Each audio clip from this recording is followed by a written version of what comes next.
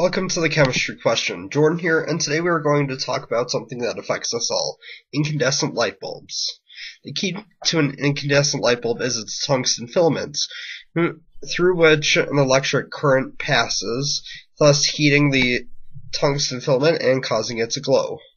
Originally, the filaments were kept in a vacuum to prevent them from reacting with oxygen at high temperatures and thus ceasing to work. However, the lack of pressure caused the tungsten to evaporate in a short time frame.